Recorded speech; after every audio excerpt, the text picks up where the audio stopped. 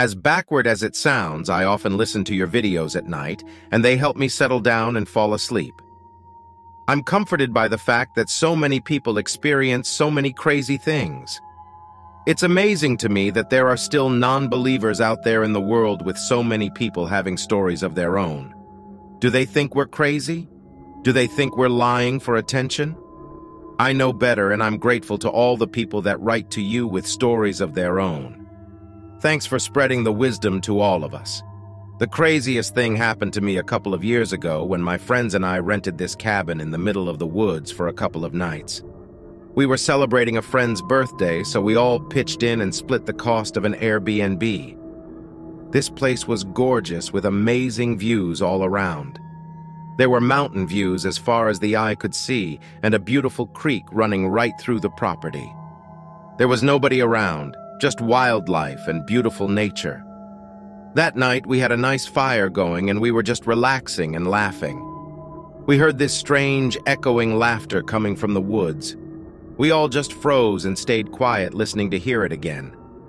A while passed and we just kind of brushed it off. Then about half an hour later, we hear the sound again. Creepy, haunting laughter. We decided to investigate, grabbed some flashlights and headed into the forest. We entered the woods and started looking around with our flashlights. We didn't see or hear anything, so we went deeper into the forest. We stopped again and just listened for a while, but we didn't hear any noise. We were about to head back when a beautiful blonde woman in a long flower dress walked over to us.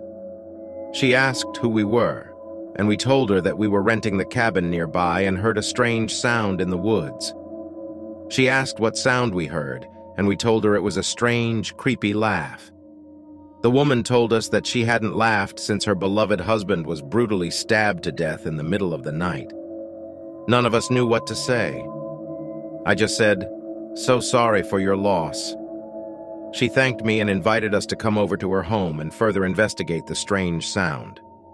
We agreed, and we followed her through the woods and to her home. We arrived at this pretty little cottage with a garden in the front, and she said that was her house and she brought us in. We sat down in the living room and she started making us some tea. She asked us how long we'd been searching for the source of the sound, and we told her a little over an hour. She said that other people that have rented the Airbnb have claimed to have heard strange sounds coming from the forest, but to her knowledge, nobody ever found anything. I asked her what kind of sounds the people heard. She said that people have heard screams, cries, and strange animal sounds, but never laughter. When we asked her if she had ever heard anything, she said there are all kinds of wicked things around here. I asked her why she didn't move. She said that her husband had built the house, and all her fondest memories were in the house. We sat in the living room talking about all kinds of crazy things until very late. We were all exhausted and figured it was time to head back to the cabin and call it a night. Shortly after we left, we heard the laughter again, this time very loudly. It was as if the laughter was coming from the blonde woman's house. When we looked back, we saw a woman peering through her window at us. It wasn't the same woman. She had gray skin, black hair, black eyes, and an evil, nasty grin. We ran back to the cabin as quickly as we could, and we kept hearing the laughter trail off behind us. We immediately packed up and drove down the road. We stopped at a motel that we passed and spent the night there. The next morning, we got breakfast at a local diner and we started talking about what had happened. We looked at the reviews on Airbnb and several people claimed the house was haunted. Multiple people claimed to hear creepy sounds coming from the forest. A couple even mentioned the blonde woman and how nice and how hospitable she was. One review said evil lurks there and to never go there. One review said that a horrible demon witch haunted the woods and she left in fear for her life. This was too much. Multiple people had similar experiences that we just had, and we got to read them all freshly afterward. There was no denying that the experience we had was unexplainable, but it was relieving to hear that we weren't the only victims. The sound of that laughter will always haunt me until the day I die. Now, when I rent an Airbnb, I make sure to read all the reviews thoroughly. That is an experience I never want to have ever again. I always believed that witches were a thing of legend, but now I believe in them. This experience has also opened me up to the possibility of extraterrestrials, demons, Bigfoots, ghosts, and pretty much anything that is considered paranormal. One thing is for sure, we don't know what's out there. Every day is an opportunity to learn, and instead of belittling people who have experiences with the paranormal, we should strive to learn all we can to understand these things more. Maybe it's possible to get rid of the witch and help her move on peacefully into the afterlife. I can only hope that if I become a witch that someone does that to me. I don't want to spend all eternity being evil and spreading fear into the hearts of innocent people.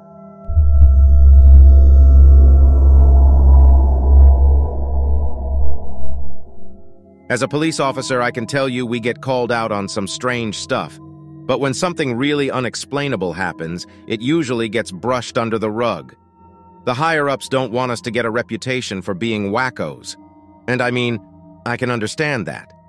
But if more people were allowed to tell their stories, then all this stuff could become less taboo. Anyway, it's nice to be able to tell about this here anonymously. I know that most of your listeners are less judgmental of the unknown, I've been on the force in one of the Salt Lake City suburbs for about 12 years. When this happened, me and my partner were working the night shift. We were called to investigate a suspected break-in at a morgue. When we arrived, the custodian was waiting for us out front. He told us that he had been mopping one of the corridors and had seen something move in his peripheral vision. He said he looked up and saw a person sprint from one side of the hallway to the other. He wasn't able to give much of a description, though. He said he hadn't seen the person very clearly since they had flashed by so fast. It was just a dim outline, but it was enough for him to be sure that someone was in there. He had gotten freaked out and went outside to make the call to the station. My partner and I went in the building. We called out to anyone who might be inside, but we got no answer. So we began to do a sweep. We walked down the central corridor with our hands on our guns. We were going slow. We had to check every room on each side of the hallway. It was creeping me out a little, to be honest. I mean, I've been around plenty of dead bodies and stuff, but I didn't know what kind of individual we were chasing. Who breaks into a morgue? Every now and then we would call out for any intruder to show themselves. We were about halfway down the corridor when I got to a room with the light off. It was pitch black inside. I flipped the switch expecting to find the intruder hiding, but it was just the waiting room for visiting relatives. Then I heard my partner call out, Hey, stop! Turn around! I got a big surge of adrenaline and swung back out into the corridor. I saw that my partner was pointing his gun towards something at the end of the hallway. He said, She went around that corner. The custodian was back by the door. When he realized which way she had gone, he yelled out, She's trapped! There aren't any exits that way! We were concerned that with the person being trapped, they might do something crazy. We had the custodian lock himself in the waiting room for safety. Then we started advancing down that hallway. We kept calling out to the woman to show herself. We made it clear that we weren't there to hurt her.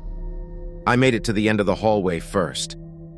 I had my back against the wall and I looked around the corner. I saw her. The woman was standing by a big gray door that was partially open. The lights were off in that area, so it was hard to see her clearly but I could see she wasn't holding a gun. She had long, blonde hair. I stepped out from behind the corner to begin approaching her, but she went through the door and disappeared into the room behind it, and the door closed behind her. I ran up to the door and pulled at the handle. She had locked it. I was banging on it and calling out to her, but there was no answer. The door had a deadlock on it. I yelled out to my partner to go get the custodian to unlock it. It seemed to take forever. Finally, the custodian came around the corner with my partner. When he saw which door it was, he just said, This door? Are you sure? I'm like, Yeah, she went through there and locked it behind her. He said, That's the cold room. The door doesn't lock from the inside. I didn't know how to respond to that. But he found the right key and unlocked the door. I'm yelling, We're coming in! Put your hands up! I had my gun ready and got inside the room. My partner was swinging his maglite to light up the corners. The custodian hit the light switch and the room lit up. It was empty except for some equipment against the wall and several gurneys in the middle of the room. All of the gurneys were empty except for one that was covered in a white sheet. The sheet was covering what appeared to be a body underneath it. I remember thinking how ludicrous the whole thing was. What a place to decide to hide yourself.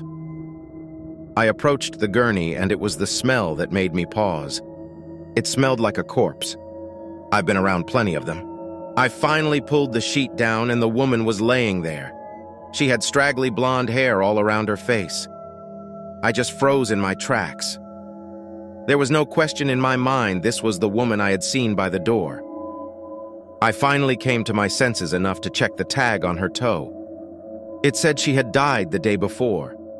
We just stared at each other in disbelief. I mean, what can you say? We had all seen her and we couldn't all be crazy. You could tell how shaken the custodian was. He said he'd been working there a long time and had never seen anything like it. I swear it had to be a ghost.